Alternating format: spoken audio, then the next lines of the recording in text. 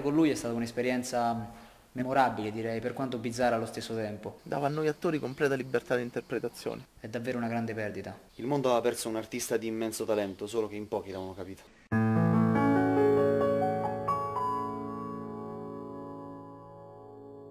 Fred Corona nasce il 23 maggio del 1980 da una piccola famiglia di operai, Amanda ed Edoardo. Da bambino mostra un precoce interesse verso la letteratura del cinema. A 16 anni abbandona il liceo e gira continuamente cortometraggi amatoriali che purtroppo non sono più reperibili perché distrutti dallo stesso autore. Tra il 2000 e il 2003 gira alcuni spot televisivi sempre accolti con entusiasmo dalla critica. Nel 2006, al suo esordio cinematografico, gira con passione e fantasia, film accolto come un capolavoro in maniera unanime da tutta la critica e nominato a tre David di Donatello e due Leoni d'Oro a Venezia.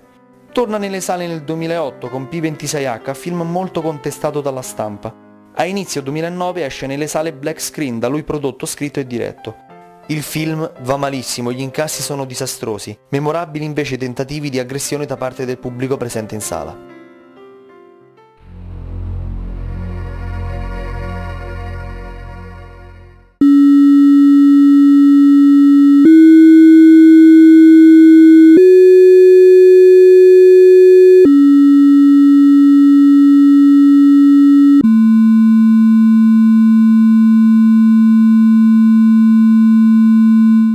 Black Screen è stata un'esperienza davvero immersiva. So che la stampa specializzata lo ha stroncato, però in realtà secondo me non hanno capito il valore, il valore dell'opera, il senso profondo dell'opera.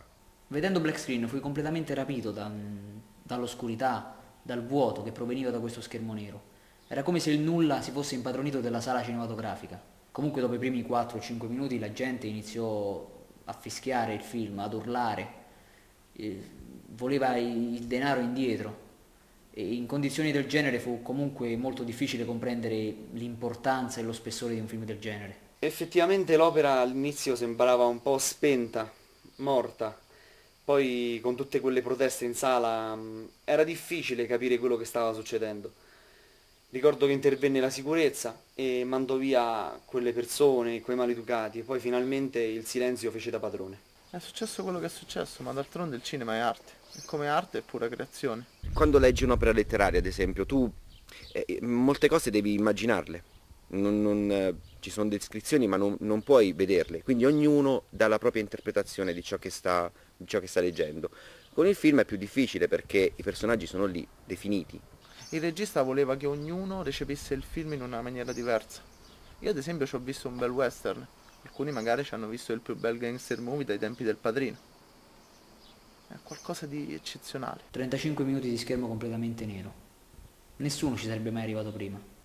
Il film puoi immaginarlo tu.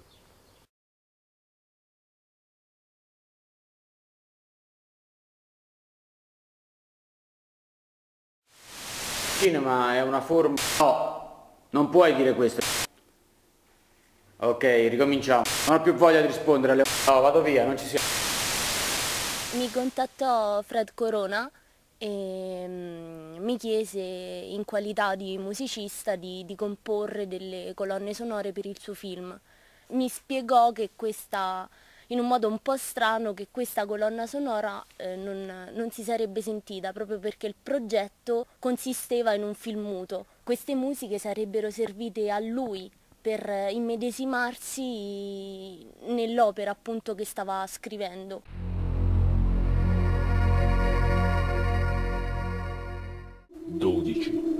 43 28 52 13 12 3624 53 10421 1672 26 26 26 26 26 26 26 26 26 26 26 26 26 26 io quando vidi il film ero basito, pensai ma che cavolo è questa cosa?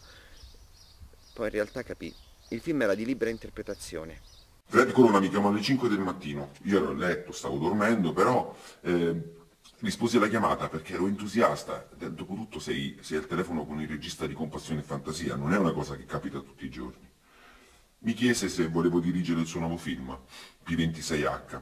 Io dissi, va bene, mi diede la sceneggiatura, la lessi, finito di leggerla mi sentii confuso, smarrito. Eh, Era, un- era una sceneggiatura strana, sembrava che avesse perso ogni logica, sembrava tutto buttato così un po' a caso, quindi ehm, pensai di, di rifiutare. Del resto la mia carriera era appena iniziata e per me dirigere quel tipo di copione eh, insomma, sarebbe significato un suicidio professionale. E pensavo che la critica mi avrebbe massacrato, quindi decisi di, di rifiutare. Mi dissi che non avrei girato questo film e lui non, eh, non la prese, non la prese molto bene.